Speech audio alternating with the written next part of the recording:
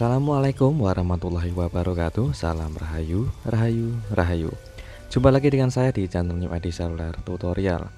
Di kesempatan kali ini saya akan berbagi tutorial yaitu bagaimana cara memperbaiki handphone yang akan saya kerjakan. Ini sebelumnya sudah saya bongkar teman-teman yaitu tipe serinya Samsung A50s Ini kerusakannya untuk Samsung A50s ini tidak bisa dicas teman-teman. Jadi setelah saya cek untuk menggunakan uh, kabel USB charger itu tidak ada respon sama sekali.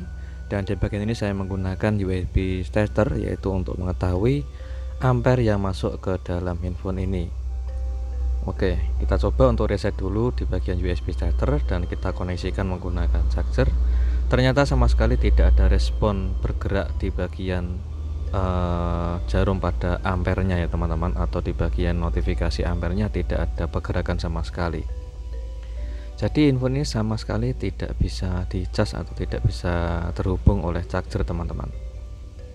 Saat saya coba untuk lepas chargernya untuk mengetahui di bagian cas yang saya gunakan saya mengambil dari handphone lain dan saya koneksikan menggunakan handphone lain itu pengisian daya cepat terkoneksi teman-teman jadi charger dan USB tester yang saya gunakan itu normal namun untuk pengetesan di handphone Samsung A50s ini sama sekali tidak ada respon.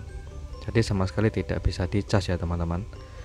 Oke kita coba untuk mengerjakannya dan sebelum kita kerjakan kita cek terlebih dahulu untuk mengoreksi handphone ini. Oke kita matikan dulu handphonenya dan kita lepas di bagian soket baterainya. Dan kita siapkan alat multitester yaitu untuk pengetesan uh, file yang masuk ke dalam handphone ini.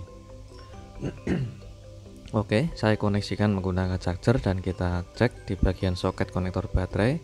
Sama sekali tidak ada pergerakan file yang masuk dan di bagian ini saya lepas fleksibel mainboard. Kita cek dulu di bagian jalur soket konektor papan chargernya teman-teman. Oke saya cek ini untuk volt itu ada pergerakan ya jadi masuk dengan normal yaitu 4,7 volt atau kurang lebih sekitar 4 volt ya teman-teman. Sedangkan untuk bagian soket konektor baterai sama sekali tidak ada pergerakan. Di bagian ini saya cek di bagian fleksibel mainboardnya.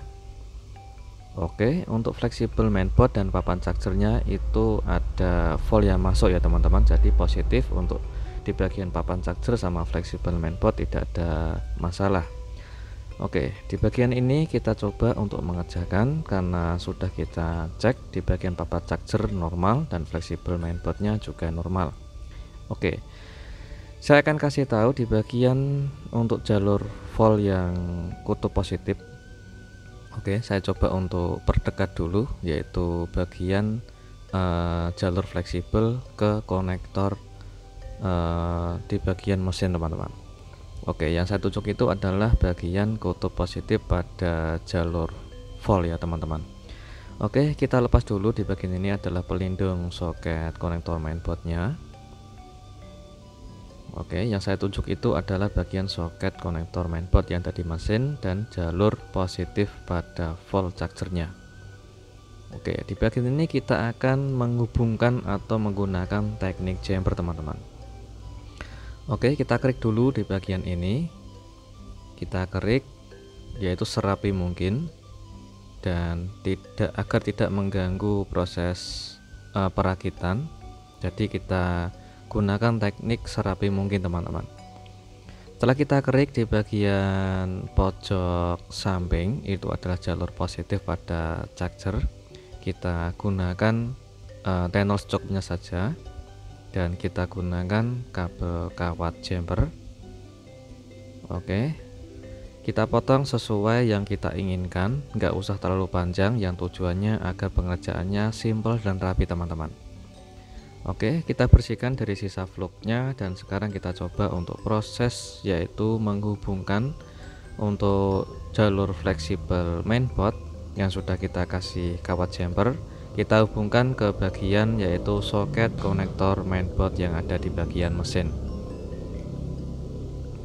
Oke kita gunakan untuk flux sedikit saja. Oke kita kasih tenor sedikit saja di bagian pojok samping yaitu adalah kutub positif pada jalur chargernya. Setelah itu kita sambungkan kawat jumpernya ke bagian soket konektor mainboard. Oke nggak usah terlalu banyak atau tebal ya teman-teman di bagian tenolnya. Agar bisa terpasang fleksibel ke papan eh, PCB atau di bagian soket konektor mainboard yang ada di PCB itu agar bisa terpasang dengan rapi dan presisi. Di bagian ini kita kembalikan atau kita pasang kembali yaitu di bagian uh, pelindung di bagian soketnya. Oke kita gunakan solasi anti ground ya teman-teman. Di bagian ini kita lindungi di bagian uh, kabel jumper agar tidak mengenai di bagian PCB nya. Jadi kita lindungi menggunakan solasi anti ground setelah itu kita presisikan kawatnya agar terhindar dari ground dan kita pasang fleksibel mainboard ke soket uh, eh, PCB nya. Oke setelah kita pasang kita cek ulang Oke, sama sekali tidak mengenai ground pada kawatnya ya teman-teman atau kawat chamber tidak mengenai ground. Kita pasang kembali untuk di bagian uh, fleksibel mainboard yang ada di bagian bawah dan kita pasang soket fleksibel baterainya. Oke, sekarang kita coba untuk mengambil chargernya untuk menghubungkan charger ke handphone ini apakah sudah mau ngecas atau sudah terhubung untuk chargernya atau belum? Oke kita koneksikan dulu. Oke ada pergerakan ampere masuk ya teman-teman. Ada notifikasi tanda petir kita tunggu loadingnya sebentar. Dan Alhamdulillah sudah berjalan notifikasi pengisian baterai di angka 31% kita tunggu sebentar apakah bisa naik atau tidak. Kita coba untuk nyalakan handphonenya atau kita buka kunci layarnya Oke, ada di angka 36% ya teman-teman. Jadi alhamdulillah untuk persentasenya sudah naik atau pengisian baterainya sudah nambah dengan normal. Sekarang kita coba untuk menyalakan infonya untuk mengecek yaitu untuk pengetesan kondisi info menyala sambil kita cas itu bisa naik atau tidak teman-teman. Oke, untuk persentase baterainya tadi di angka 31% dan untuk pengisian Baterai pada USB tester menandakan 1,5 ampere ya teman-teman atau 1,6 kurang lebihnya. Oke, handphone sudah menyala, kita buka layar kunci. Jadi ini sekalian kita tes untuk fungsi infonya ya teman-teman. Oke, untuk persentase baterainya ini agar kelihatan jelas, kita coba untuk setting dulu untuk membuka pengaturan persentase baterainya untuk mengaktifkan yaitu persentase baterainya teman-teman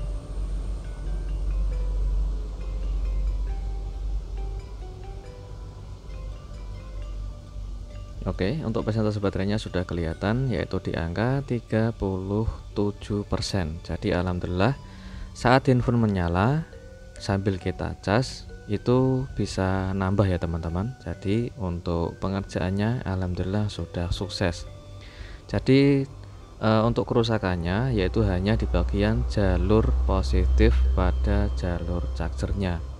Yaitu untuk di bagian papan charger sudah kita tes itu aman dan fleksibelnya juga aman.